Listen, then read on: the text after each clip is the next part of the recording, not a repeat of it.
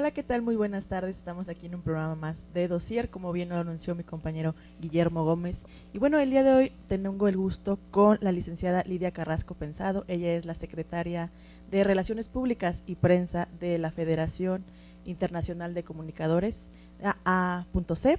Y también al licenciado Felipe Delín Soto, vicepresidente de la Federación Internacional de Comunicadores.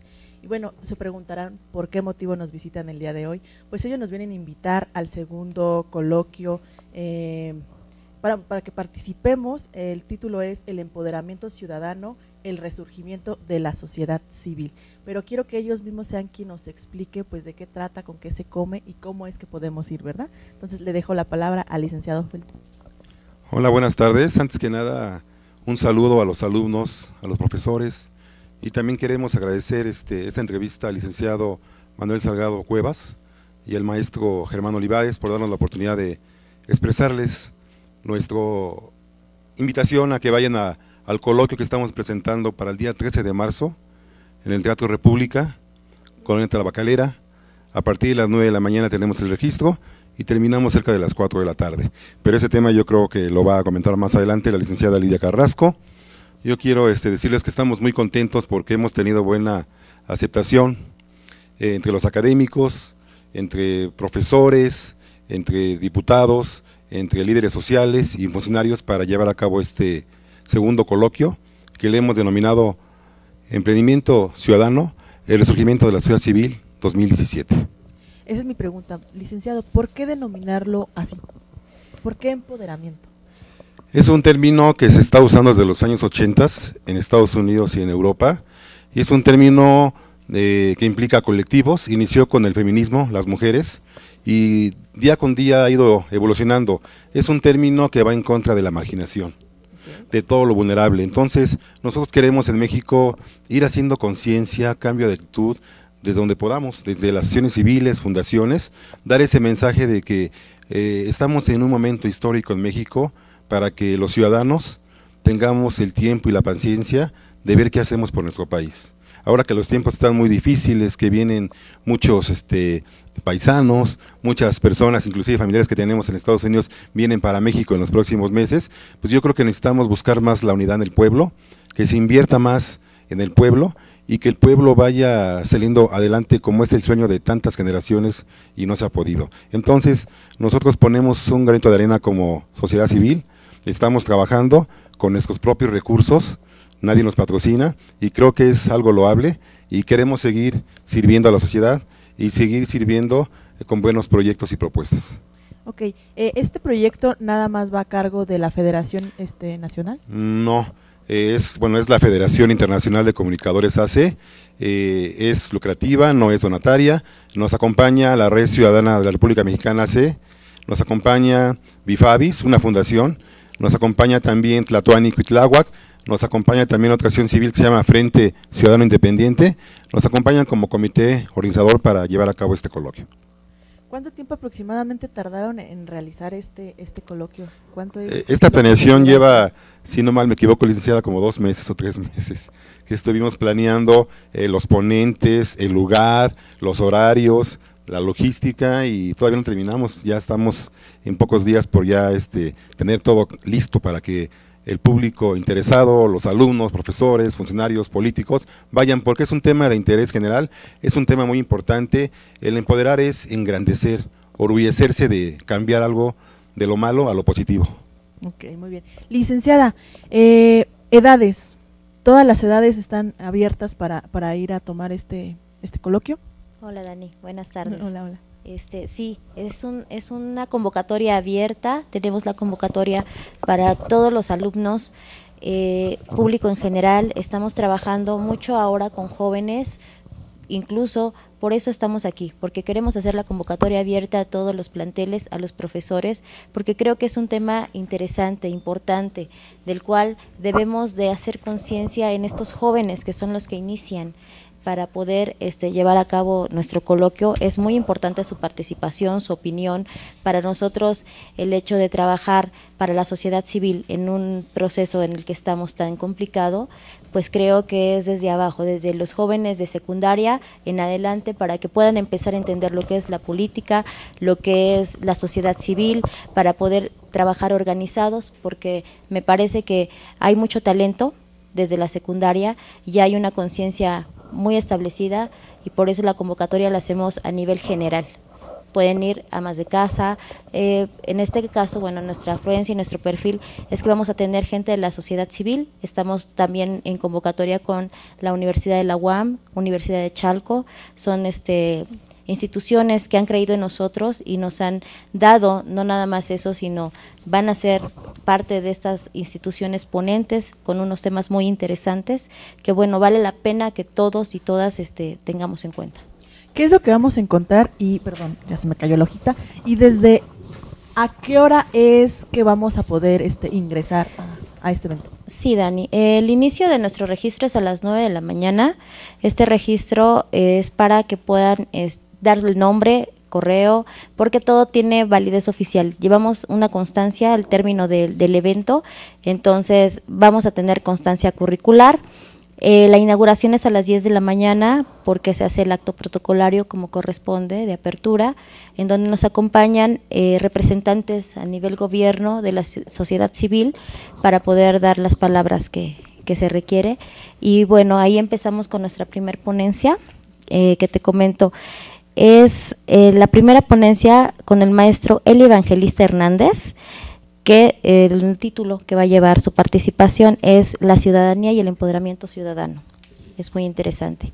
Continuamos con el segundo ponente, que es el doctor Mario Carranza Aguilar, con la ponencia El empoderamiento comunitario en la Sierra de Santa Catarina en Iztapalapa.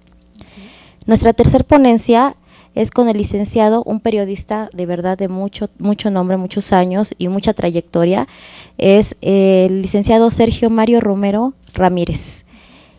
Nuestra cuarta ponencia es con el ciudadano Juan Santiago Zurita Silva, que él es representante de una este, asociación civil y bueno, él va a participar con la sociedad civil y su responsabilidad ante la nación.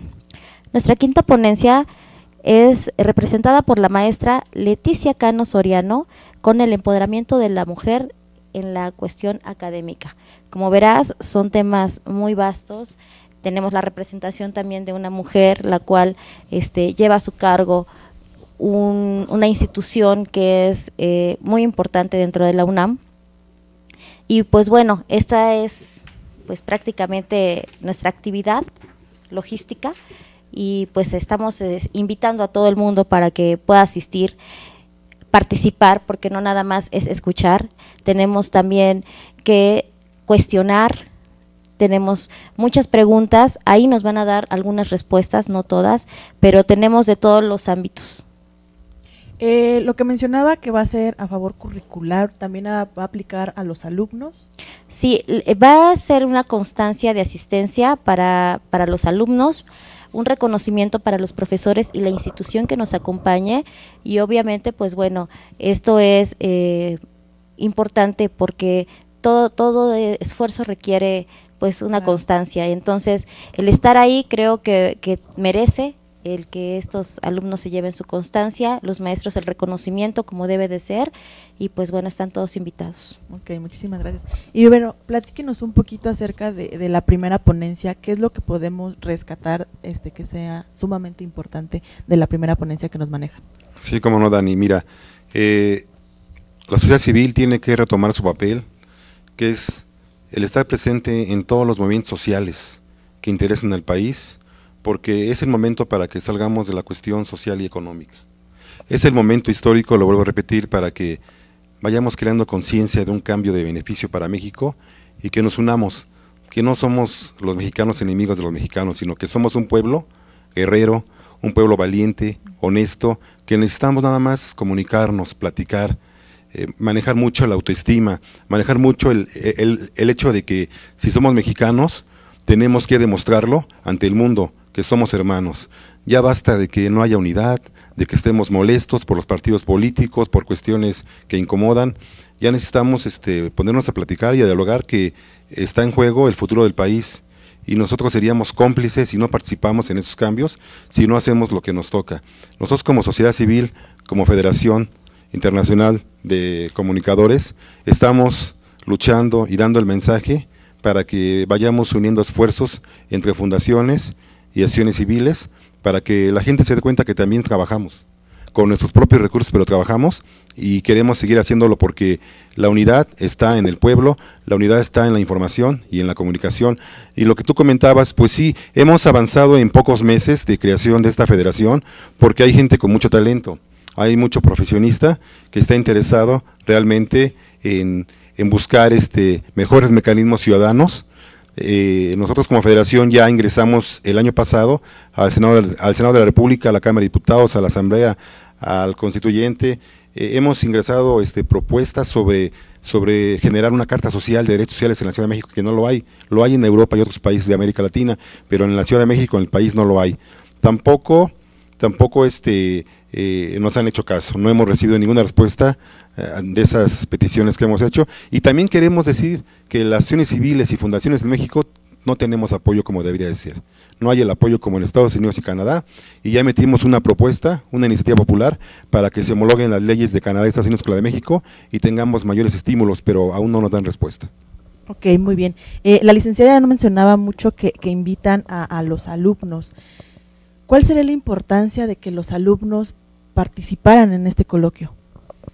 Es muy importante conocer la, opinión de los alumnos, pero más que nada es que los alumnos eh, tengan información, tengan conocimiento, pero no de una sola fuente, que investiguen, que analicen varias fuentes.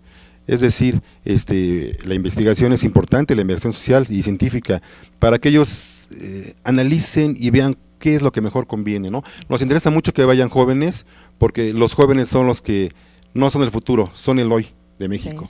y tienen que actuar y tienen que también unirse a las gentes mayores, a las gentes que también tienen capacidad y tienen decisión y cómo lo vamos a hacer con acciones. Es el momento histórico y debemos aprovecharlo. ¿Hay algún costo? ¿Es entrada gratuita?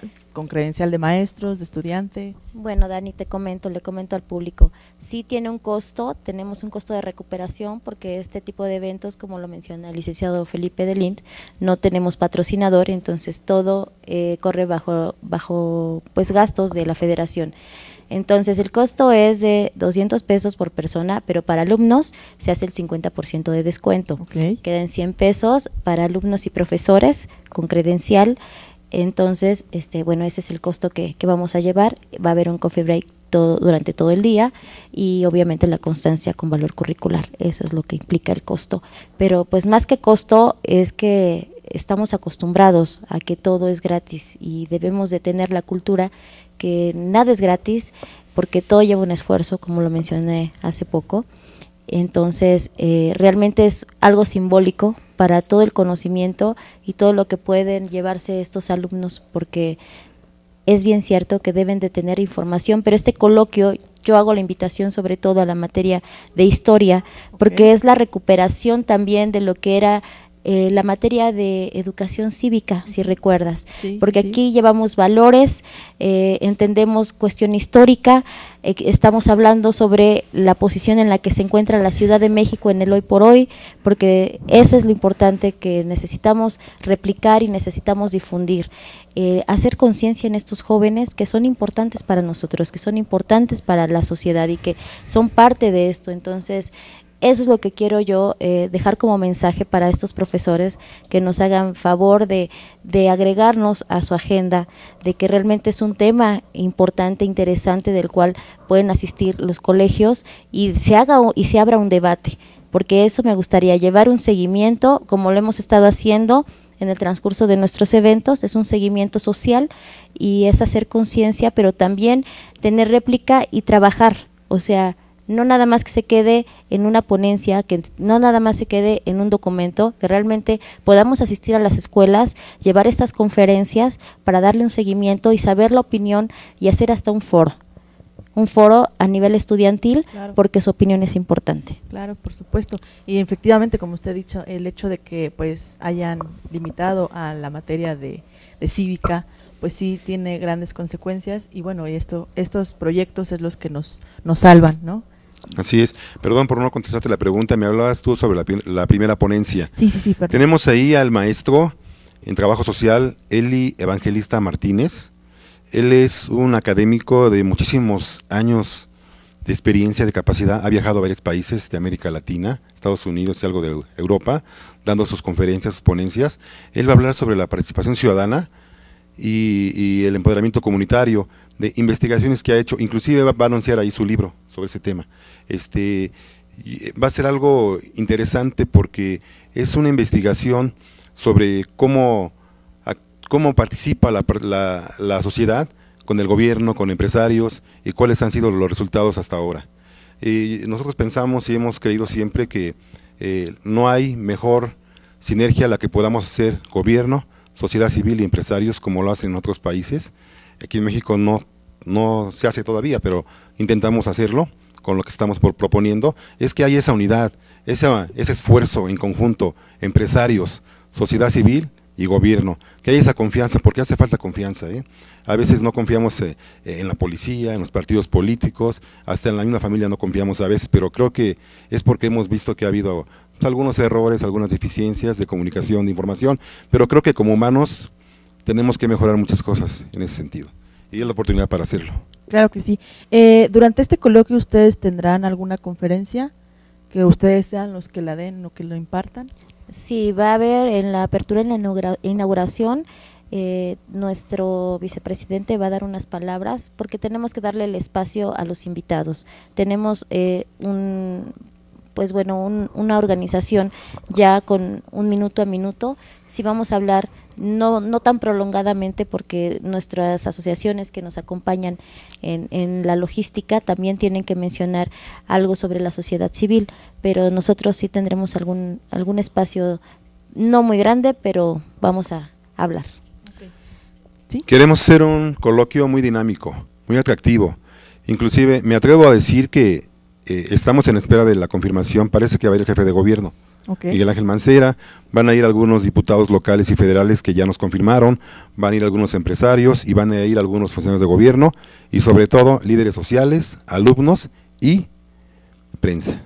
La prensa es muy importante. Dani, quiero comentar, perdón que interrumpa, también no, no tenemos la participación de un grupo muy entusiasta de jóvenes que Sí. tiene un programa de televisión y de radio que es de cómic. El cuartel del cómic. El cuartel de cómic eh, nos va a acompañar con, con algo, haber una- regalos. Una, sorpresa, algunos regalos para hacer una conferencia no aburrida, sino Claro. interactuar con los jóvenes y bueno, de esta manera también dar a conocer lo que ellos realizan porque es este muy interesante. Ok. ¿El público tiene algún contacto o dónde ponerse, bueno, con, con- con ustedes para Bueno, sí. apartar el lugar? ¿Tiene un límite este, este coloquio? Sí, mira, este, estamos aprovechando lo que la ciencia, la tecnología nos ha dado en los últimos años, que son las redes sociales. Tenemos algunas páginas de Face, tenemos este, algunos correos electrónicos que estamos este, promocionando para que ahí este, nos puedan contactar y puedan confirmar su asistencia. Si no, el mismo día del evento estamos dando un margen de hora y media para que se registren, porque al parecer vienen algunas universidades que están un poquito retiradas y estamos dando ese margen para que se registren. Este, Pero entonces no hay límite. No, No, no, no, no, bueno, el aforo del teatro es de 300 personas. Ok. Ojalá vayan 400. Sí, ¿no? Ok. Muy bien. Si Te- gustan, sí, mencionar las redes sociales, los correos, teléfonos. Con gusto voy a mencionar los correos y los teléfonos. Es red-ciudadana 333 arroba hotmail.com. El teléfono o los teléfonos a los que se pueden comunicar es el 55 32 64 09 53, 55 91 09 38 95. El otro correo es lafic 333 arroba gmail.com. Ok. Y queremos decirles que lo sentimos mucho, pero vamos a dar mucha lata. Vamos a trabajar mucho, vamos a hacer muchos coloquios, muchos foros, muchos encuentros, porque es lo que necesita la sociedad civil. Más información y más comunicación, porque ya basta de nada más los memes en las redes sociales y, y de divorcios, separaciones. Ya basta, hay que ocupar la mente en cosas positivas y creo que lo vamos a lograr. México necesita gente pensante, gente trabajadora para un país vigoroso y progresista. Ok, muy bien. Pues el tiempo en televisión es súper cortito, como ya lo saben, pero pues sí me gustaría saber cuáles son, qué es lo que esperan de este coloquio y pues más bien cómo les fue en el primer coloquio brevemente. Platíquenos para que la Pues- gente se anime a ir. No, pues estamos contentos porque hemos tenido una respuesta muy aceptable, sobre todo de, de- de amigos, de personas que, que hemos conocido a través de nuestro trabajo. Llevamos un seguimiento, obviamente, como te mencionaba, de todas estas actividades.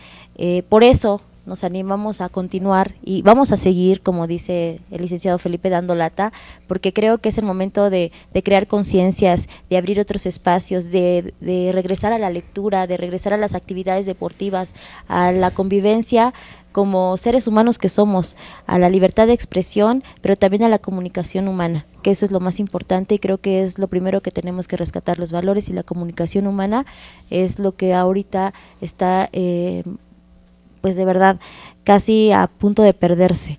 Entonces creo que es un buen momento de retomar, de resurgir, por eso el resurgimiento de la sociedad civil como personas que somos y creo que lo que esperamos es continuar, dejar un buen sabor de boca y sobre todo con estas grandes personalidades que nos están otorgando su tiempo y su conocimiento, creo que debemos de aprovecharlo. Ok, licenciado. ¿Qué esperar? Que nos conozcan más, que sepan qué es la Federación Internacional de Comunicadores, quiénes somos, qué queremos, a dónde vamos, y lo vamos a lograr porque vamos a buscar la unidad del pueblo de México y vamos a salir victoriosos. Gracias. Ok, pues muchísimas gracias. Antes de despedirnos, me gustaría que repitieran otra vez los números de contacto para que, por si la gente no, lo- no logró anotarlos, este, puedan comunicarse con ustedes. Con gusto. Al 55 32 64 09 53, al 55 91 09 38 95, correo electrónico red-ciudadana 333 arroba hotmail.com y la FIC 333 arroba gmail.com. Ok, muchísimas gracias. Muchas y bueno, gracias. también este recordemos que este video va a estar en nuestra página web. Nos encuentran en http dos puntos diagonal diagonal dgsmedia.dindns.tv para que pues no lo chequen en YouTube, nos encuentran como DGS TV,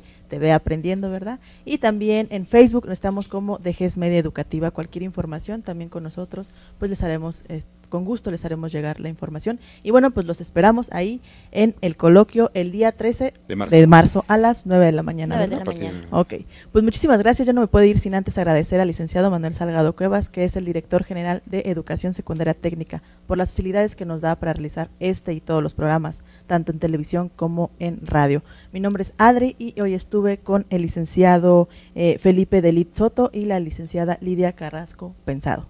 Hasta la próxima. Muchas gracias. Muchísimas gracias.